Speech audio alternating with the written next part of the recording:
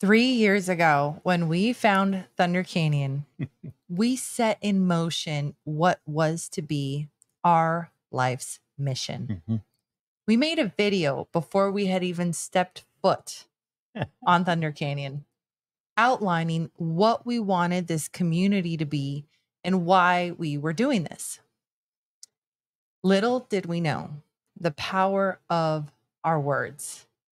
Everything came true.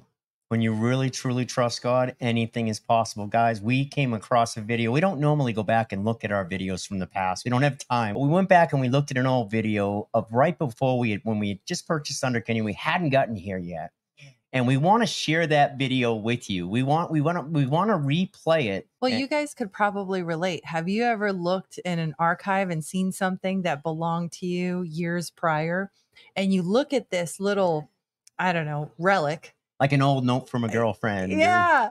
And you look at it and you get chills. It's like a moment, a reflective moment, because you realize that it came true or you see how far you've come. It's one of those here and then, Mm. then You- and now moments. brings you right back to that moment where you actually remember everything about it. And yet, you know, did you really truly believe it come true? Who knew? And at that time, we had no idea, but we put our faith in God and we set out on this adventure, and it's turned into our life's mission now. We're going to run through this video with you guys. It's wild, guys. Stay till the end because it gets more wild as it goes. Comment below.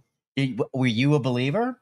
When we first set this out there, there were thousands of neg- naysayers and negative people saying you I are going to fall on your face. You guys are dreaming. This can never happen. That's right. Are you one of them? Holy hole in a donut, Batman. We're buying a campground.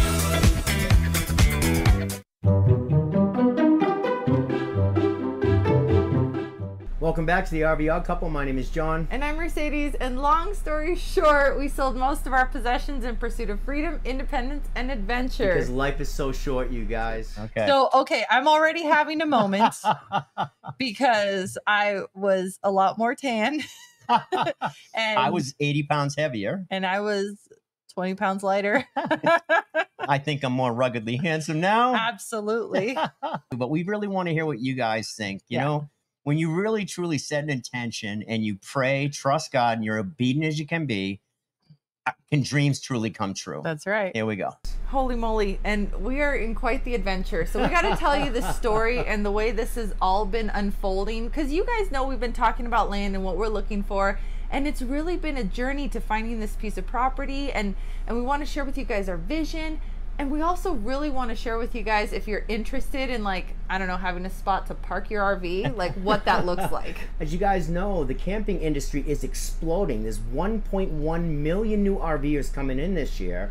and wha- like only 40,000 new campsites or something. Yeah. I, I read it somewhere in like RV Park Association, Owners Association. It was just a ridiculously low number in comparison. to who's coming in. Yeah. And we, being that we have the RV Odd Squad, we get emails all the time of people that can't find campgrounds. There's no vacancy. And we feel a responsibility to stay out of the parks because we know they're overflowing. And we can afford to find we can afford to places. find Yeah. other places. So we kind of stay out of those parks to let the the newbie RVers and people that trusted us enough to buy a membership give them the space and not take up the space. Yeah. As you guys may know, we launched a video about a month ago called RV Land. Yeah. And that whole process was eye opening because Mm-hmm. developing raw land into a campground can take three, four years with regulations, zonings.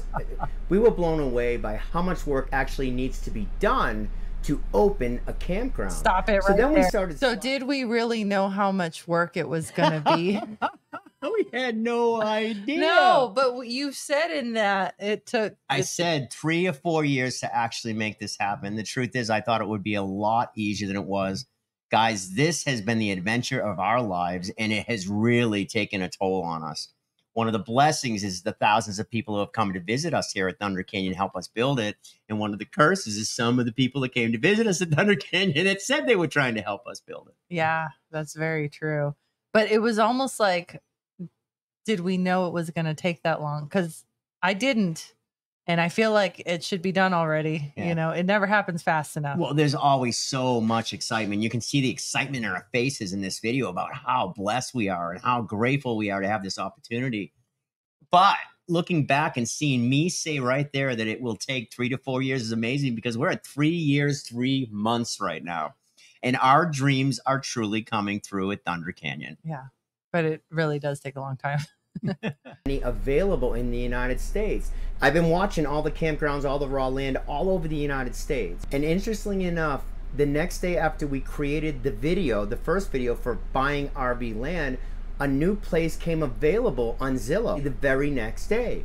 So I started looking at it, and it was a campground that had opened in 1970, which we got a little bit of background to that, which is interesting. But it closed about three years ago because it was an older couple that couldn't, they just couldn't keep up with the improvements, with the the maintenance of the park. So that, and they got older, and so they ended up letting the campground somewhat die. And so we've got this beautiful place called Thunder Canyon that we found, and we started actually doing research.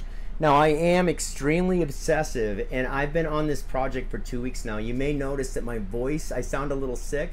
It's because I've been talking on the phone and going crazy, trying to figure out how we can make this work. We can't do this by ourselves. Yeah, but here's what we found, and here's what's so special about it. Because the the raw land is going to take like forever to develop, right? Existing RV parks are like only millions of dollars, right? That's it. And, and and you know we don't have millions of dollars although i i really believe that one day we will but And we, what's we really, don't What's funny is a lot of you guys think we're rich YouTubers. We're Yeah. not. yeah We but don't have seven hundred fifty thousand dollars to buy a. You got something to say. i got something else to say Okay. Number one, have you guys listened to his? Doesn't he sound more Bostonian three years ago than now? like the, It's the South. The South has changed me, y'all. the, the South has really changed him. And then um, when we're talking about, but we need help, like we knew then, but we didn't know. Does Well, that make sense? Kinda. I knew we we were honest, and it's coming up in this video, I believe, that we tell you we cannot do this by ourselves. We didn't have seven hundred fifty thousand dollars. Mhm. The dream was that we were going to be able to bring in RV Odd Squad members, those people who had loved us, supported us, prayed for us along the way. Our our members, our our um, our subscribers. We thought that maybe we get a bunch of families together and we could do this together, and Yeah. that's absolutely how it came to be. We have not hired one person uh, at Thunder Canyon. Everybody has come and volunteered their time, their sweat, their labor, and their treasure, and it's turned out to be an absolutely beautiful place to stay. It's This amazing. place feels like a 1970s campground. It does, and and to be quite frank, we've been praying throughout this entire process. Every morning and every day, we've been praying on this campground, and we really truly believe that we're being led.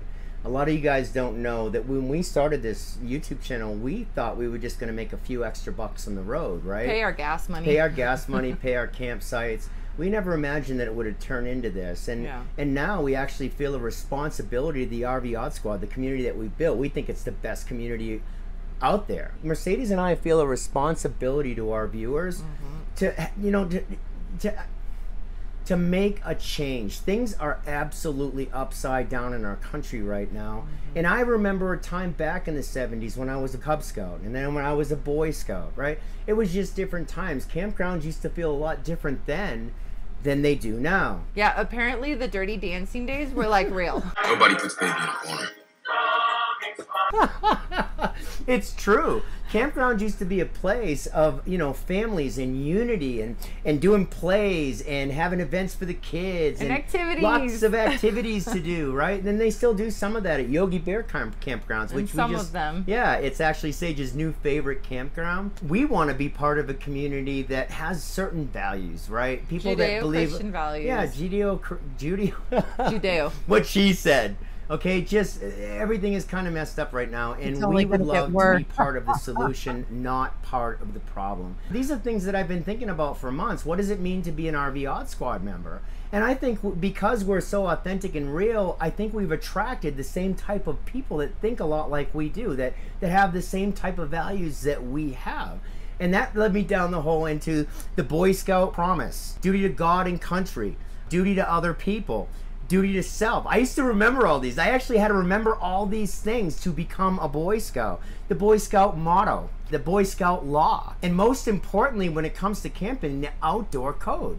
These are all things that are, were built by what used to be an amazing institution in America. You'd be blown away by how many presidents and leaders of Fortune 500 companies were Boy Scouts. You know, did you know that Martin Luther King was a Boy Scout? Did you know that Colin Powell was a Boy Scout? It's sad what's happening to the Boy Scouts of America. It's another great institution that's slowly dying, and maybe we have an opportunity to bring it back. I want to bring these principles back to the RV Odd Squad and be part of the solution. And don't worry, ladies. This isn't a boys only kind of thing. Masculinity is having like a crisis right now, what with man buns and all these is. crazy things. But this is more about like principles in general and about if things really do go sideways or more sideways than they already are, and things really hit the fan, who are your neighbors going to be? Right. And I think what really excites me about this campground specifically is that because it had been closed the last three years, does it need TLC? Yeah. Oh, yeah. You know, but what's really exciting is that there's a lot of land included. There are a lot of options. And for that reason, John and I are kind of taking all of our plans and throwing them out the window. And in like two days, we're going to be in Alabama so that we can look at this land We got in 10 person. days to do our due diligence on this land. We both were shocked when it got accepted. We threw an offer out there. There were other multiple there were offers. other offers, but we did write a note to the owners letting them know what our what we wanted Idea to do with it, what are the principles. So the first thing I figured out after about a month of research is that we wanted to buy a campground in a red state, guys. Um, Shocker. Alabama is one of the last great states where you can actually have freedom to do what you want with your land. So we threw this offer out on a wing and a prayer, guys, Yeah. and Multiple bids. multiple offers, and we really didn't think we had a shot because Yeah. we couldn't prove the funds right away. Yeah. And so we threw our offer out there and we prayed to God, and if it was God's will, it would be done, right? And that's kind of the way our whole adventure has been. We trust that God is going to put the right people in our lives at the right moment and the right opportunities, and then we do what we can to help as many people as we can. So we had to wait two days. It was excruciating. We got a phone call saying that we had won the bidding process, and so they had accepted our offer. We were in shock. And at that point, Mercedes was happy and scared. And I was exhilarated and terrified because now we knew what we were looking at. And what we were looking at is that we got to get our butts out to Alabama and do our due diligence to find out if this thing is really viable. How messed up is this place? What's it going to cost to get it open? Mm-hmm. Are the roads okay? And we're packing up the rig and getting ready to go. Well, that's the exciting thing too, is that we're not doing this alone. And you guys know that John and I, I mean, we do some pretty genius things every now and then, but um, we've also done some dumb things. So don't worry, it's not just us working on this. we have um, an attorney, RV Odd Squad member, solid person, uh, 36 years experience as an attorney. That's that's really guiding us through this. Um, obviously, we have a realtor, etc. But we also have some some business leaders. We have a lot of connections within the RV industry. People that look at us young bucks and they give us some advice. Yeah, we're looking at escrow companies. We're Yeah. looking at title companies. How are we going to do party, this? yeah. Yeah, and so we're looking for partners. I think there's different levels of interest. There's some people that you know they have some time available and they'd like to help, but then there's other people that really want ownership and they really want decision making abilities. They they want to like steer the ship. And so what we're doing is we're trying to organize everybody that's interested into three categories. People that just want a site, like their own site. People that want to be like owners, you know, like like steer the ship. And then people that say, you know, maybe I can't buy land at this moment, but I'd really like to, you know, donate my time and, and see how I can contribute in other ways with my talents or my time. Yeah, we are trusting that God's going to let this thing lay out exactly the way it's supposed to go. We're going to go and bust our butts, do as much work as we possibly can, and we're going to leave the rest to God, guys. The most important part to us is that the board, whoever comes in and joins and becomes our partners, are going to help us decide how this thing is going to function, what the rules are. There's going to be rules, guys. Sorry.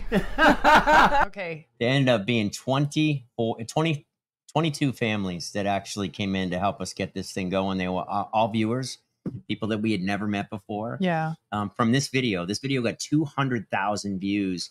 And, you know, we're doing emails as we're going across the country. My Mhm. voice is so gone because I'm on the phone constantly seeing who was interested and trying to learn, you know, who might be able to help and, and, and, and whatnot. And, uh, go ahead. Yeah, but the people, okay, so here's looking back. Um navigating people can be really awesome and it can also be very challenging. Yes, people. And there are some people that have uh, we've gotten to know really well within the last three years that are still right here, really active and uh, people that we run things by that we really trust.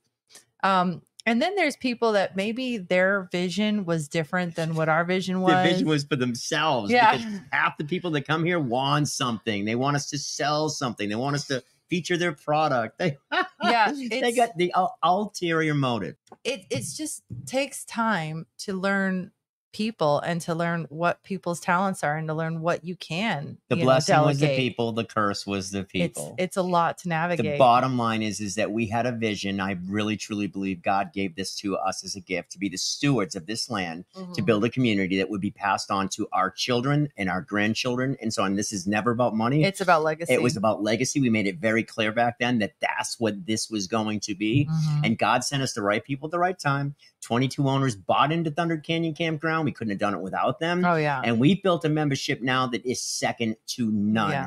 and now we're at a place where people are coming to live here full time to build the community that Mercedes and I talked about and craved. Mhm. Knowing who your neighbors are, knowing you know the, uh, helping each other and growing stuff and and becoming a true true community. Yeah. No, I I agree completely. And that's the thing that we've um we've gotten to filter out the people and the people that are here are just that was been- probably the most stressful part. yes. Was filtering out who wanted something and who actually truly. And it was it was pretty easy.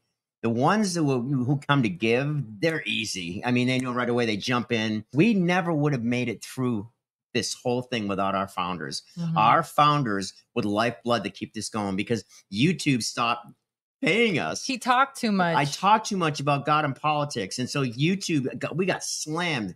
Our our our advertising dollars dropped by ninety percent when we found Thunder Canyon guys, yeah. and so our founders were the ones who carried us through. That's why we didn't have to do a lot of uh, uh, uh, uh, product videos or Yeah, sponsorship. Widgets and widgets. we came yeah. to a turning point. You know, we we could have really made a ton of money doing this. We chose community Mhm. over that money. We chose safety. We chose a place, a safe place that we Yeah. could build a community that would love God, family, and country. That's and right. that's what this is. Mhm. just common sense with principles and it's it's so, i'm so excited about this so that our viewers can have a safe spot Right. And so it's called Thunder Canyon.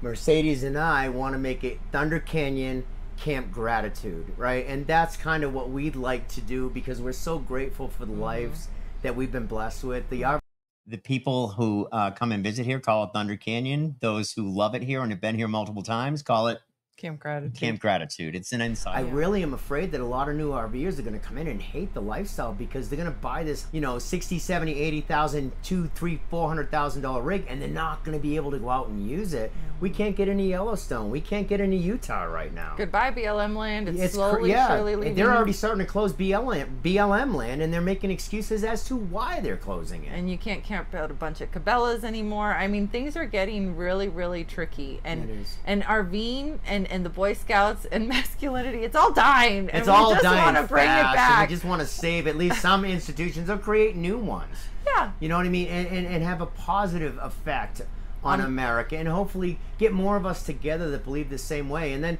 if we can make this campground work, actually work really well and profitable, mm-hmm. maybe we can leverage that and start opening other campgrounds around the mm-hmm. country with the same types of principles. Now, I'm I'm stopping it right here because you asked us just six months ago, Mercedes and I would say we never want to do this again. It- as, as wonderful it has turned out, right? The, the golden egg is starting to shine. Our members love it here. We love it here. We love everything that we're building here. But the truth is, is that it's been an incredible amount of work. Uh, I mean, Mhm. I've lost almost, I lost 90 pounds at the top of this thing. Um, Mercedes has gained a little weight, right? like two.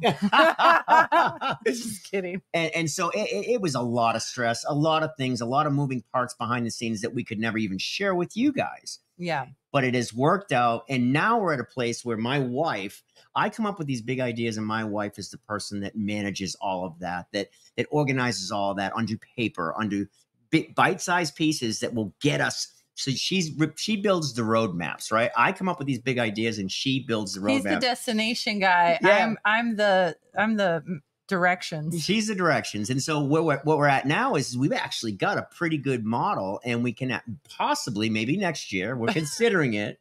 Looking at another campground because the biggest complaint people have RV Odd Squad members all over the country, and they've come to visit us from all over the country and Canada.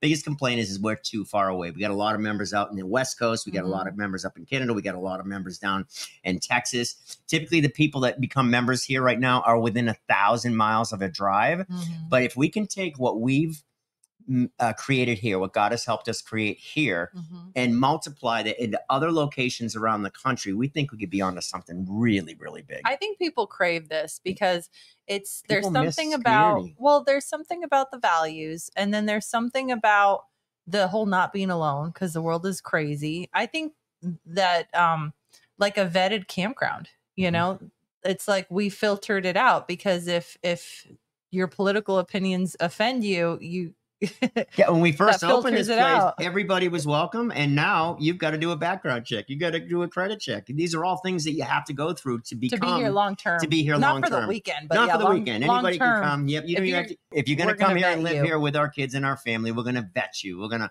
run a background check. We're going to run credit checks. We're going to Mhm. check you out, make sure, and more importantly, we're going to make you become an owner. You have to bring some skin to the game. So yeah, all the people that live in here at Thunder Canyon, we're all invested. we're all invested Yeah. and have are part owners of Thunder Canyon. yeah, it's good stuff. It's really good stuff. but we're open minded to whatever the, God's will is in this whole thing. So Mhm. we'll take whatever we can get. We've got 10 days to do our due diligence. Yeah, and what's funny is this is really all my fault because when I started noticing that John was like obsessing and like staying up late at night, you'd think he was doing something nefarious. He's like looking at properties online, right? Yeah, and, the he's, Boy like, Scout oath. Yeah, I and the- know. what It's are the like- principles of this thing going to be? His search history is Whether it's an. RV Odd Squad member. yeah, exactly. But but the point being is like I saw him obsessing, and I know like when I see him like that, it's like okay, we're gonna get a curveball in life today. Okay, all the plans, all the plans that I had for like what Q3 and Q4 of 2021 look like, they're all going out the window. Just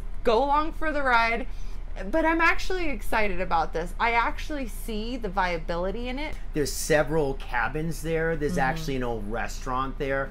There's a, there's a swimming pool, and if you look at the photos, Because of this video, other people came, offered more money than we had, but she, had a- integrity. she had an offer for double. for double. And Miss Kitty just said, I like John and Mercedes. I like what they're trying to do here. I like their vision. She understood what we were trying to do. it was her. a legacy. She raised all five of her kids here. Yeah. It's a special place to her. Yeah. She wanted it to go.